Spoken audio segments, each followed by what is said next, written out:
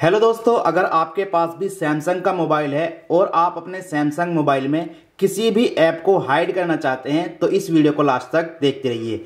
इस वीडियो के अंदर मैं आप लोगों को बताऊँगा कि आप अपने सैमसंग मोबाइल में किसी भी ऐप को हाइड कैसे कर सकते हैं? और इसके लिए आपको कोई भी ऐप डाउनलोड नहीं करना है, क्योंकि सैमसंग मोबाइल में पहले से ही एक सेटिंग दी हुई होती है, जिससे आप अपने मोबाइल के किसी भी ऐप को हाइड कर सकते हैं। तो ये कौन सी सेटिंग है? चलिए दोस्तों, मैं आपको बता देता हूँ।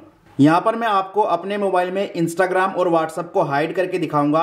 तो मेरे मोबाइल के होम स्क्रीन पर इंस्टाग्राम यहाँ पर और व्हाट्सअप यहाँ पर है। और ऐप ड्रायर में अगर मैं जाऊँ तो इंस्टाग्राम और व्हाट्सअप यहाँ पर आपको देखने को मिलेंगे।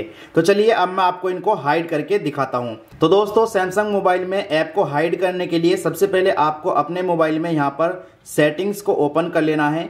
सेटिंग्स को ओपन करने के बाद यहाँ पर आपको डिस्प्ले का एक ऑप्शन मिलेगा। इस पर क्लिक करके इसको ओपन करना है।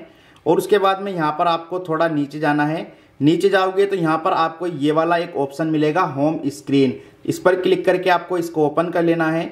अब यहाँ पर आपको थोड़ा नीचे जाना है और नीचे आपको एक ऑप्शन मिलेगा हाइड ऐप्स तो आपको हाइड ऐप्स पर क्लिक करना है। जैसे ही आप हाइड ऐप्स पर क्लिक करेंगे तो आपके मोबाइल में जितने भी एप्स हैं, वो सभी यहाँ पर इस तरह से आ जाएँगे। तो यहाँ पर आप जिस भी ऐप को हाइड करना चाहते हैं, उसको आपको सिलेक्ट कर लेना है। जैसे कि यहाँ पर मैं सिलेक्ट कर लेता हूँ व्हाट्सअप को।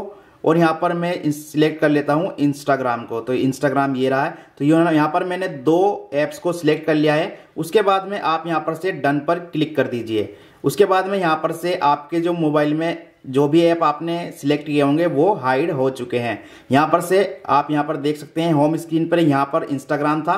यहाँ पर व्हाट्सअप था, वो यहाँ से चला गया है हाइड हो चुका है। और यहाँ पर मैं ऐप ड्रायर में भी आपको यहाँ पर दिखा देता हूँ। इंस्टाग्राम यहाँ पर और व्हाट्सअप यहाँ पर था, वो भी यहाँ से गायब हो चुका है, क्योंकि वो मैंने यहाँ पर से दोनों ऐप्स को हाइड कर दिया है। तो यहाँ पर आप मेरे मोबाइल में पूरे यहाँ पर देख सकते हैं, दोनों ऐप आपको कहीं पर भी दिखाई नहीं देंगे। तो इस तरह से आप अपने सैमसंग मोबाइल में जो है ऐप्स को हाइड कर सकते हैं। अगर दोस्तों आपको उस ऐप को यूज़ करना है तो वो कैसे करेंगे? तो उसके लिए आपको क्या करना होगा? आपको अपने मोबाइल के ऐप ड्रायर में जाना होगा। एंड यहाँ पर जो ऊपर सर्च बटन है, इसमें आपको उस ऐप का नाम सर्च कर लेना है। जैसे कि यहाँ पर मैं सर्च कर लेता हूँ व्हाट्सअप जैसे मैं व्हाट्सअप सर्च करूँगा तो यहाँ पर मुझे ये ऐप मिल जाएगा।